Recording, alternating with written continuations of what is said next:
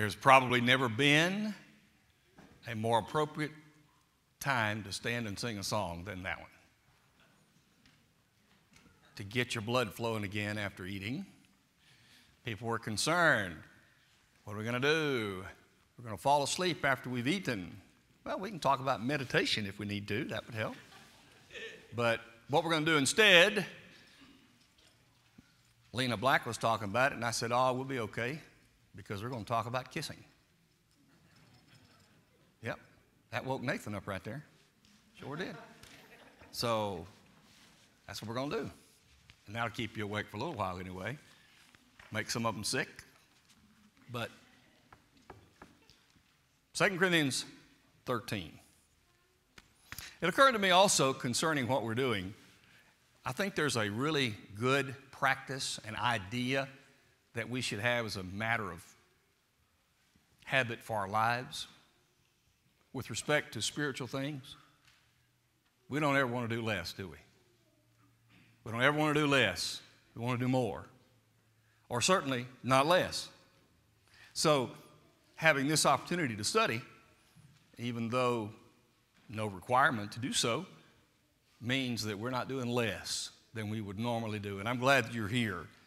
And I'm glad you've taken the time to uh, be a part of these events. There's nothing like the close connections of those fel- that fellowship time to grow as Christians and as a church, as a congregation. And so I'm glad that we have this time for us to study for a few minutes today. And I want us to look at this passage. Now, I will tell you that for the purposes of this lesson, it applies today to every single person except Brian Hall. because none of us need to be kissing on him, and he don't need to be kissing on us because he still can't shake whatever he's got. So he said, in case when this is over, if he doesn't kiss on you, that's the reason. So whatever we talk about, it doesn't apply to Brian today. Now, this is a great passage. I, I broke it on the college students the other night to get their reaction to it, and they sort of helped plan it, if you will. So look at the text together. I want you to notice, I don't think this text, I say this a lot, but I, I find myself, when I remember it, uh, I, I find that the text comes even more alive if we constantly remind ourselves that God wrote intentionally, intentionally, not by chance or happenstance or just rolling dice and writing something, there was an intention to it. There's an intentionality to this passage that the translation I use, the New King James, really doesn't bring out very well. But in the original language, it brings it out very well. Let me read it with that original language in mind. The second part of verse 11. Um, he begins, finally, brethren, farewell. And then he says, Be perfected, be comforted, be single minded, be peaceful. That's how the, the language is written. It's written in the form of a command be this.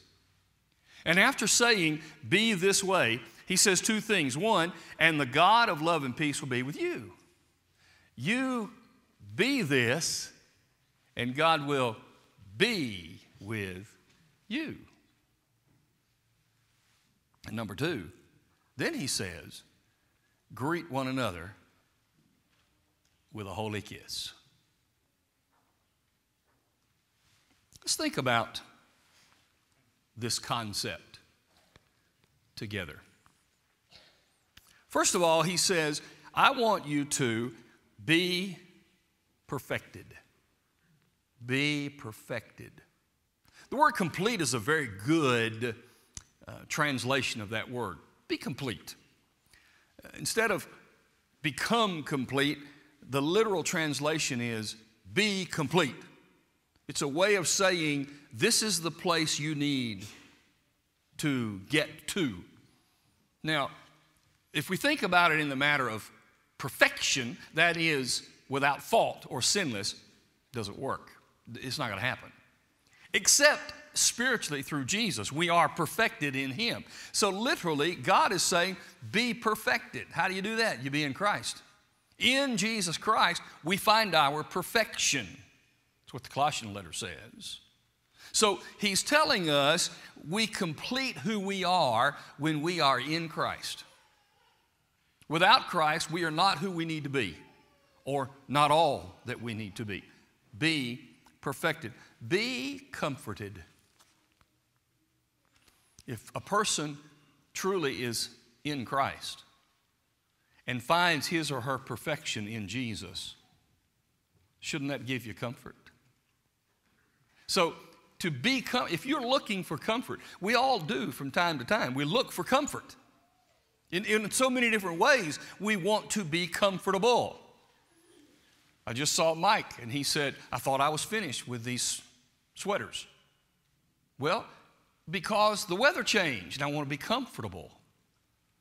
In the middle of our dinner, the ladies were sitting under a vent and said, Can you please turn this air off? Because it wasn't comfortable.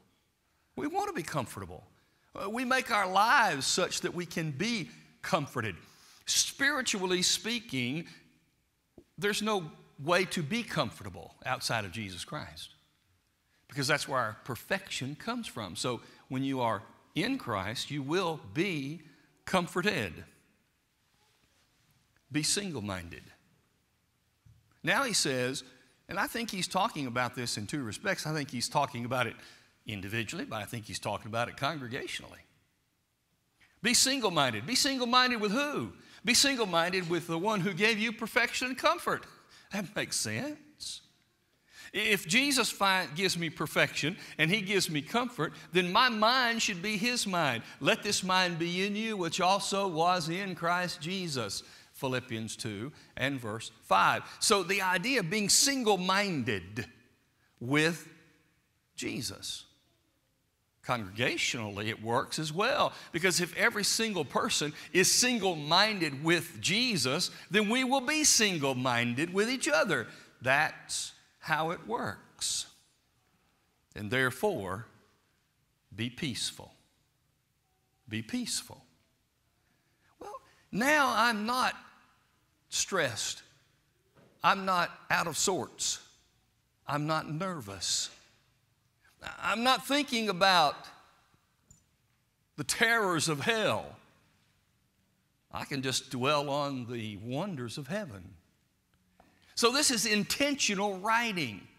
When I become perfected in Jesus, I will find the comfort that I should have. And it will naturally make me single minded with Him, at which point I am at peace. Jesus said, I came to bring peace, not peace that the world gives, but the peace that I give. So, see, this is intentional writing. Now, be this way, and the God of peace will be with you. Well, that makes sense because if I am perfected, I am being and am a perfected person, I can't help but have God with me because I'm with Him. So this intentionality works. But now, for the next few minutes, look at the phrase greet one another with a holy kiss. The first thing I want you to notice is this you cannot, we cannot do what is mentioned in verse 12 if we refuse to be what we're supposed to be in verse 11. It's not going to work. Number one, I won't want to. The world doesn't want to greet us with a holy kiss. It's not within their mindset. That has nothing with them. They don't have any connection with that at all. So if I'm not being this way, verse 11, then verse 12 isn't going to happen. More intentionality. I want to, only if I'm already doing this. Number two, then I will be able to. Not only do I want to, but I'll be able to. If I'm not being this person, then how can I practice anything well that is called holy?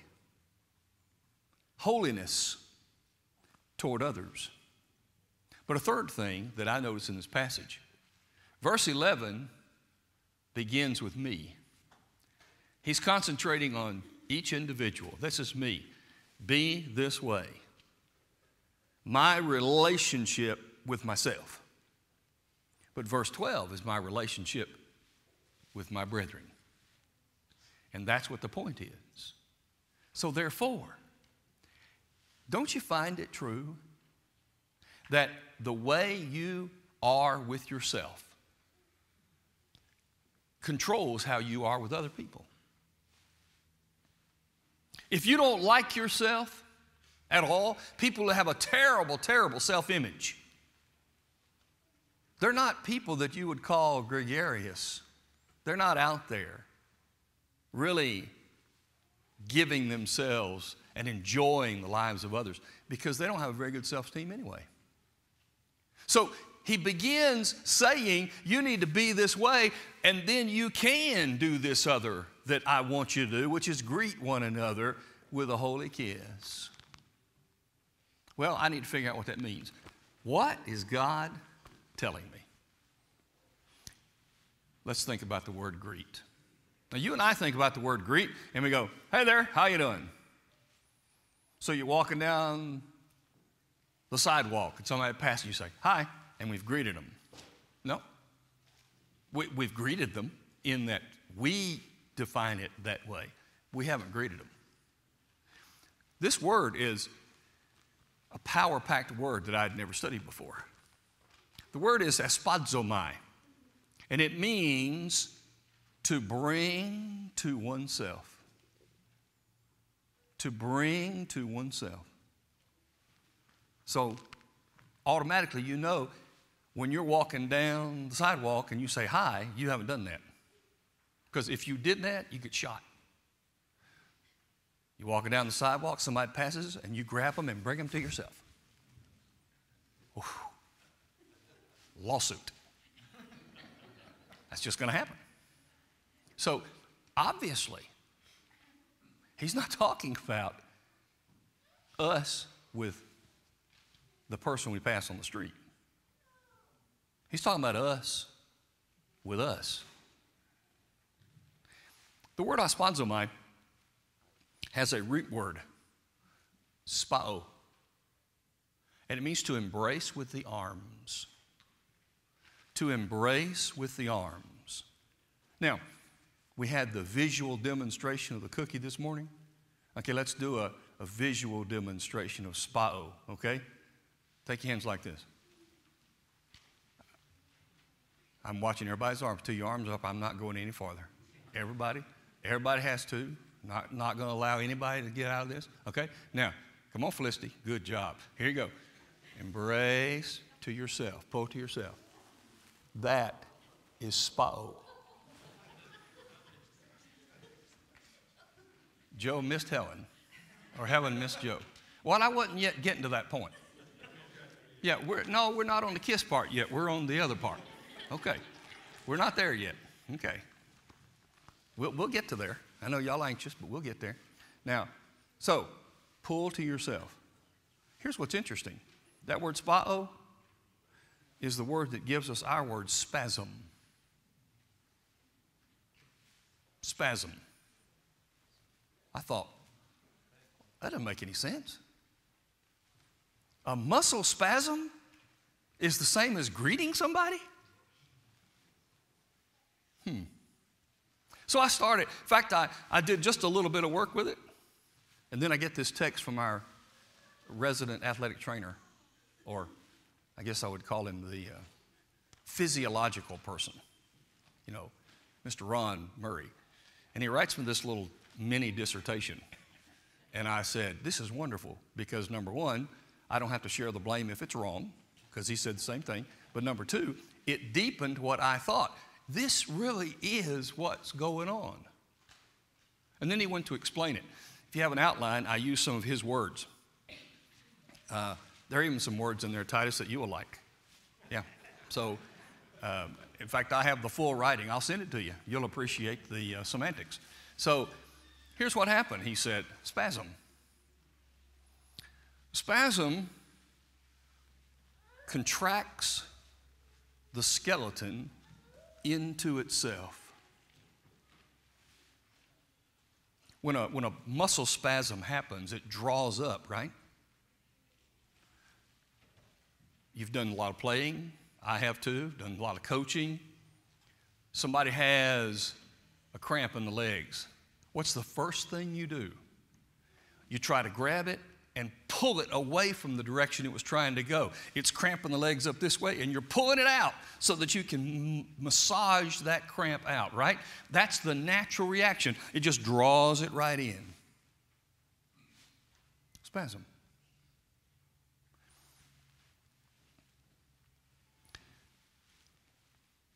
In a spiritual sense, then, spasm says we draw each other to ourselves. And the concept is to draw to the core. That's very personal. That's very connected. That's very intimate. To draw to the core. The part that I appreciated that Ron gave me that I hadn't thought about is that this spasm works even against active resistance. Try to hold your breath. And, and you hold it for as long as you can hold it. You have a competition. All right, let's see who can hold their breath the longest. Eventually, somebody's going to do what? Breathe. Here we are trying not to, but because the body has to be aerated properly, you will breathe. And it's the spasm that causes it. Even, especially in a pool in water, you know? If you try to hold your breath underwater, knowing that you can't act like water will help you breathing, some people drown. Can't help it. Spiritually speaking, if we are greeting as we should, then we can't help it. Because of who we are, be this way, God will be with you. We can't help it. We might actively try not to be this way. We might actively wish that we did not have to have or be a part of this family setting.